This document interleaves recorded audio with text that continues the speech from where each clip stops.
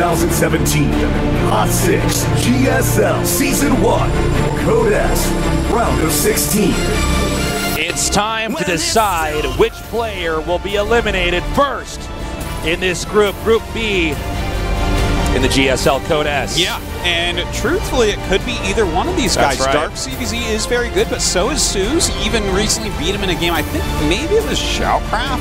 A ZVZ, a matchup with so much volatility. Yeah. Uh, and in a very, what could be a very short best of three. This game is played on a knife's edge. Yeah, it, it really is. And soO is a great aggressive Zerg. I generally like to give edges to aggressive Zergs in ZVZ because, you know, on, on the turn of a dime, you can just kill somebody. You, you know, you have the right failing in the right place, so the lings get in, and bam, it's over. There was one GSL where I believe soO had to take out three incredible Zergs in one Yeah. season to, to continue to advance. And um, that was, of course, one of the seasons that he ended up getting second place. Yeah. One of his four seasons he got second place. Yeah, I know. Seriously, like, I, I don't quite remember exactly that, but I bet I can imagine what it was like. The Zerg players whining then about how Zerg's really well. I mean, maybe you know. ZVP and ZVT aren't so bad, but ZVC are that massive. Oh, DVT, oh my god. So the map lineup is Daybreak, Abyssal Reef, and I didn't get to read the third map because that graphic changed. So it's a mystery, guys. We don't know. Mystery map. Mystery It's map. going to be a randomly generated map. My goodness. I'm like, oh no, it's a Warcraft map. They have to gather wood. No one knows how to do build orders here. Drones can't cut trees. All right, tasteless. Here we go. Already. Daybreak. I don't know who wins this. I think Dark, I think his playstyle is a little bit more robust, but soO, he's pretty crazy. Expect anything.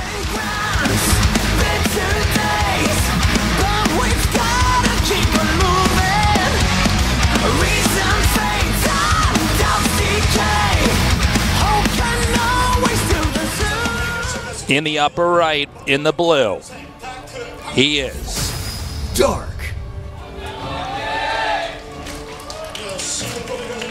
the dark side.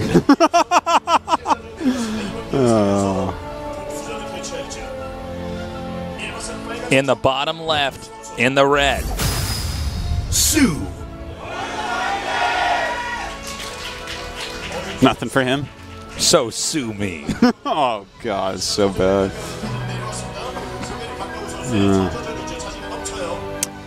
So mirror build so far, Yeah.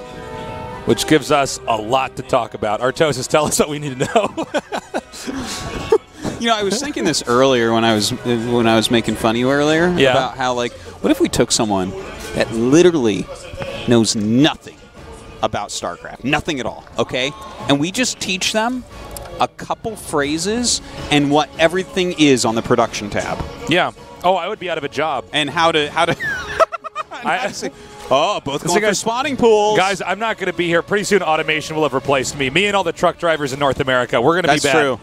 You know, uh, driving jobs one of the biggest jobs in uh, in North America. I'm going to be up there talking to Donald Trump. Like, they took my job, Donald Trump. It's like, we're gonna bring their casting back to America. Somebody, all these guys are like, we just want to mine all the coal in Virginia. And then I'm like, I just want to cast a GSL without an Android taking my work.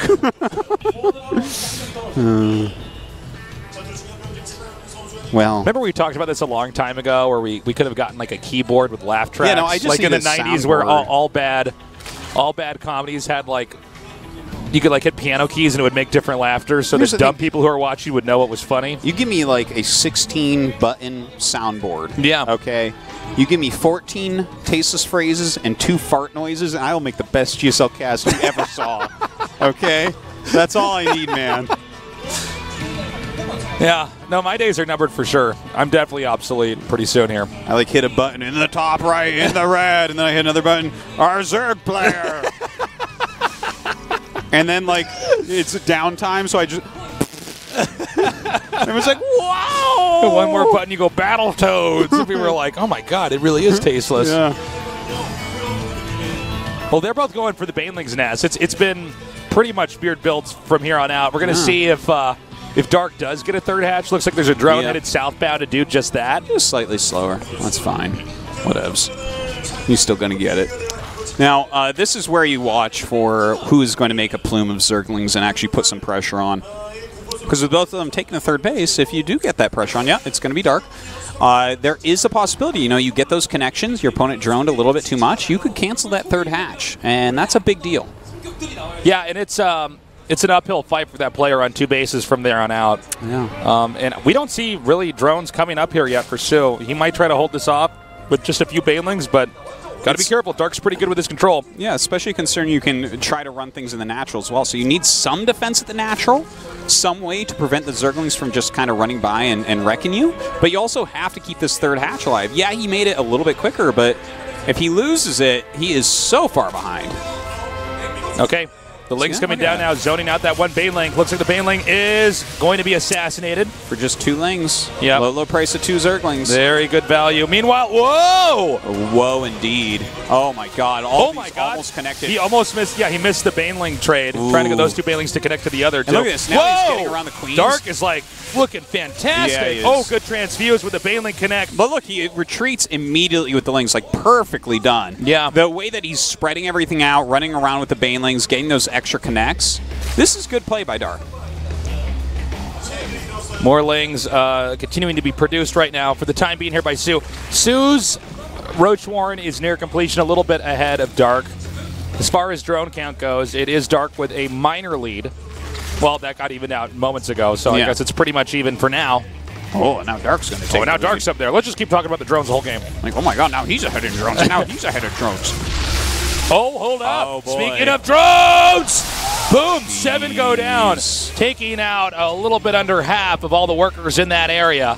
Yeah, that's really rough. Now we have Dark up 11 drones right now. You- The Roach Warren is up, which means that, you know, you start getting a few roaches out, and suddenly these Ling Bane attacks aren't really going to do that much. The sp- uh, not the Spire, but the Spire's on the way for soO. I'm like, wow, how do you do that without that Lair? He's so good. Yeah. But uh, Lair is on the way, rather. And so we are beginning that tech. Things have calmed down a little bit. It may be soO that's now going to be able to apply uh, some more pressure here onto Dark Space. But with seven roaches about to pop out, I don't think he's going to get anything done. Like, Roach Bane beats Ling Bane any day. Whoa! Nicely done. Wow, Look at him turn around. Banelings. So he zoned him out pretty effectively. Uh, we do have the plus one range attack now coming here for soO. Yeah, he does get that started quicker, and he does have uh, that the the Lair on the way, so that's going to finish up. He can get his We're- roach speed, but We're going to have oh, Roach Ravager here from Dark. Yeah, it's going to be Ravager with a lot of links. I'm for sorry, and Ravager stuff, Ling. and That's what I meant to say. yeah, in the I know. Uh, I believe you. I don't, I don't know what the unit pictures are in the production tab, guys. my. God, this is why I was talking about teaching someone what the unit pictures on the production tab are. Oh my God! Like Tasis, it's year seven. It's year seven. You've casted more StarCraft two than anybody. Like, it's really not that hard. That's what I meant, guys. Sorry.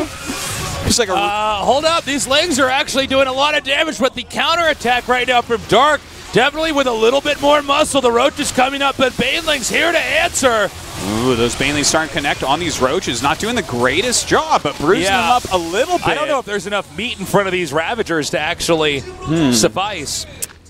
Yeah, this could be rough because that plus one attack finishing up and the fact he's going to have roach speed. Linga, Linga Ravager is not going to do so well because he's going to be two shotting the lings. And not to mention the Ravagers are horrible at retreating.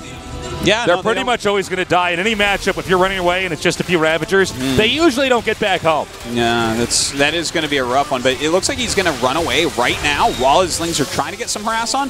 A few drones are going down, but this is now soO's moment with that plus one, with that speed upgrade. He can push out with the roaches and try to get something done for sure. Now, will he get something done? That remains to be seen. You are the greatest commentator in the world, Artosis. He is going to push across the map onto the right we just don't know, guys. Until it happens, anything could happen. we could lose power in the building. Who knows? The replay file could be corrupted and we have to start over. It's like any, you know, it's crazy. The Roaches and Lings, a few Ravagers, headed over here to the uh, center right location. It Uh, seems like Dark may have enough with the rally points coming out. A meteor could hit the Earth. Like, we only watched like 14% of the sky taste. It's like, who knows, man? He's coming. Hold on, he's coming up now. Queen's in the back here for some potential transfuses. Ah, a decent amount of roaches here, and we are very close to his rally point, so Dark may be able to end up holding, but his supply is drastically lower. Roach is getting some real value down here right now. soO's arc beginning to swallow up Dark side. Uh, but with a few more units now coming up here from the bottom, Dark trying to maintain. I don't know if it's going to work, and soO closes it out with a 1 0. GG. That's a big deal right there. soO taking game number one. Uh, Dark, you know, he had some good early aggression, then followed it up with that that Ling Ravager play, but it just didn't really work out. It was mostly just Ravager push. The Lings never really came into it. Uh, as soO, or yeah, soO was doing some counter harassment and whatnot, but not working, man. Like he, No. he kind of pulled out a game that kind of looked like that in the round of 32, but it wasn't against soO. It was against a lesser Zerg. What was it, Losira, I think? Or it's You like Losira right. is very good, but I think everyone would agree that soO is a bit above him, you know? And soO is not putting up that crap. Never None of this Ling underestimate soO. crap today, Tasteless. Dark might have gotten top two in the world, losing only to ByuN, the god of Terran in 2016. Dark, the greatest Zerg of 2016, but guess who doesn't care? His name is soO. And he might be knocking Dark out of this group. soO has yet to win a GSL Code S, but I'll tell you one thing. It's pretty hard to stop him from getting to the finals, mm-hmm. even if your name is Dark. Yeah. He does not give a damn. We're now going into this next match. Can Dark recover? Artosis, the Sam Papalab caster, is going to bring us the analysis to find out who is the greater Zerg player in the GSL Code S. In the upper left, in the blue. Dark. Our Zerg player, one of two. The power of the dark side. He's trying to bring soO over to the dark side. in the bottom right, he is soO. the Sooth Lord. There can only be two. Do you feel the hate in your veins? soO's like, no. Dark's like, I am your father. Cuts his hand off. He's like, ah, my mouse hand. It's okay. You'll get a robot arm by the end of episode four. No, five, excuse me. Would we let him into the GSL with a robot arm is the question. That's a good question. Well, we let INnoVation, and he has two of them, so whatever. Yeah, yeah. He's got a robot mind the way he plays the game. Oh, tassels. Look at all the fish. Look at all these fish. Let's talk about this. Are we underwater? Yes. I love how the overlords still fly, though. They swim. They're like jellyfish. They're like floating, yeah. Yeah, they're, they're yeah, something like that. I guess You should be able to see through overlords like they're jellyfish, so you can see what's. you in know, drop here, here's the thing. It actually, the whole idea works in my mind that we could be underwater with all the units except for the mutas.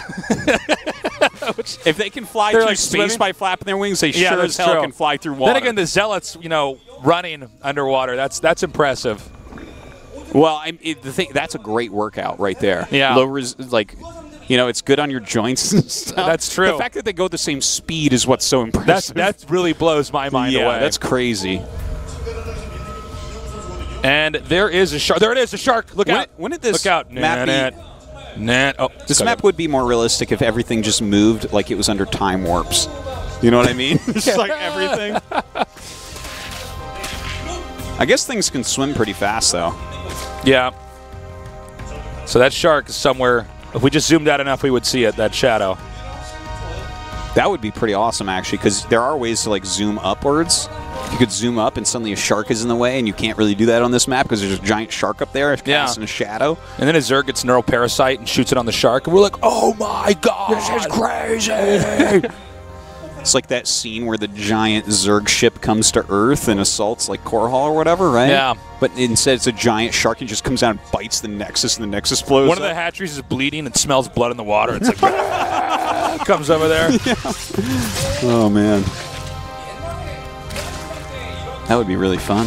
Yeah. I think someone should make that map. That's right. Would be completely unfair though, because Zerg is the only one with bleeding buildings. Yeah, that's else okay. have They're both blood. shark. It's totally fair. Yeah, totally fair. Yeah.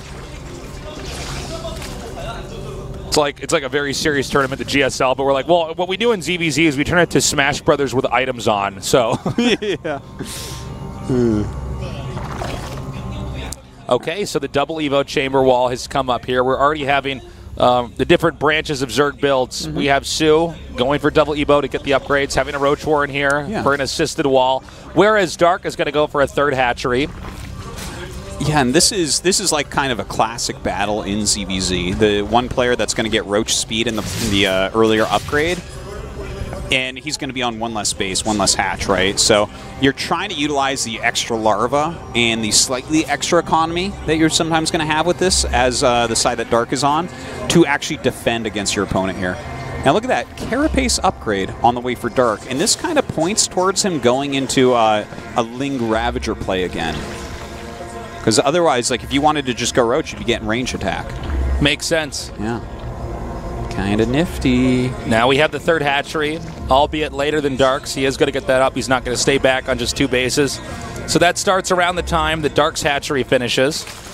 And we're, be- see, we're beginning to see the roaches get produced out here. Drone count currently 41 to 42, so not too much of a difference. Mm-hmm. Lair starting for Dark now. Dark has been making roaches for a bit, but there's some heavy, heavy roach production coming out of soO. As that plus one and speed finish up, he's definitely going to be moving across the map and seeing what poking he can get done, especially after he just scouted that third being done. He knows exactly what type of place he's in at the moment. All right, so these guys both gearing up for a potential attack here. It would seem to me Dark might be the first one to try to initiate that. We have the Ravagers now coming up. Generally, when you see the Ravagers making, that can mean that they're going to be attacking pretty soon. Otherwise, you can spend those minerals uh, in a different way. The Ravagers make pretty fast. They're kind of like Banelings. Yeah, they, You know, you can pretty much make them in real time.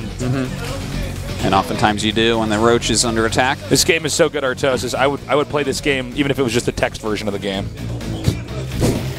I send my roaches I across send the my roaches map. across the map. He has a concave I'm like, of roaches. make more roaches than him. I typed that in. Whoa. Whoa, hold on. This this angle here, these roaches don't really have an avenue of an escape. Yeah, that means the Corrosive Biles Oh, can land God. so well. And soO is in some trouble right now. I think he is bringing up more roaches. Well, hold up. There's That was about so as many roaches. good uh, engagement as really Dark could have hoped for. He even has the plus one carapace now, so no longer is Lings being two-shotted.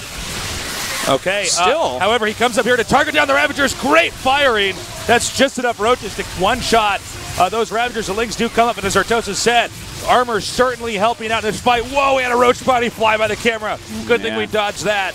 You know, even with the extra larva boost that Dark got, he just doesn't have enough units right now. Ling's popping out and trying to deal with this. He will be able to surround and kill off the rest of these roaches, but more and more roaches are being produced for soO back at home. Looks like soO just came from a time machine and, you know, Wings of Liberty. He Yeah. comes up to this base. He's like, "What the hell are those?" He sees these Ravagers and just starts to have, you know, has to start killing them. Okay, this. I, I like what I'm seeing here, right? Because soO just threw up a spire as soon as he held this. He realizes that the Roach battle is, or Dark rather, I'm sorry, threw up the spire. He realizes that the Roach battle is not something he's going to win. soO already has his plus two on the way. Uh, the Ling, the like, he already lost too many units and too long on his econ to make this strategy work anymore. So if he can just kind of sit tight, button up, and get into mutas, then he can force us into a very long game. But that's the problem. Like, how do you actually do that? With this plus two attack finishing, he's two shotting Lings once again. The Lings are not going to be useful. You're sitting here with inferior roaches against superior roaches. Ooh, I like that. Yeah. You are a poet. More roaches are going to come up here. This may be too much muscle for Dark to handle. Note how he's moving the uh, roaches back around, and for, hopefully for an interception. Um, to try to hit those lings. He's actually arcing these roaches out in such a great way so that he's going to block anything that's going to try to come back. He's trawling the Abyssal Reef. Trawling? Yeah. I don't know the word. What It's like when you drop nets to the bottom and just get all the Ooh, fish. You're good. Yeah. All right, here comes that big attack right here, right now. No Ravagers, and perhaps too many roaches here for soO. Way Every much. roach able to get those shots off as they skirt forward and begin to wipe out Dark's army. Dark getting second place at BlizzCon will not be able to get top eight Holy in crap. this season of the GSL. That is GG. wild. That is wild that Dark is out. ByuN died in the round of 32. Dark died in the round of 16. These are two of the big favorites, two of the best players in the whole world, and they're already out of this season of Codes. soO, on the other hand, is going to move up, turtleneck and all, to fight Classic. Our opinions of StarCraft 2 pros from 2016, we're going to have to shed that like snakeskin because it's a different beast here in 2017. Well, I tell you what, right now, soO is wearing some dark boots, and somewhere, Ryung is wearing some Yun boots, man. That's right. Uh, he took those nerds and turned them into nerd pelts. All right, that was uh, that was pretty impressive by soO. Just some very solid play overall. Dark getting a little bit fancy. Didn't have the units that he really needed. He even hit amazing Corrosive Biles against those roaches that were Yeah. stuck, but it wasn't enough at the end of the day. He just wasn't making his units at the right time. That means it's going to be soO versus INnoVation. These two guys. Classic. Excuse me, soO versus Classic. What? soO versus Classic. Sorry, I wasn't really here for those other games. Um, going on into our final match. We will be back in five minutes. After that, we'll see who is the last survivor in tonight's GSL Code.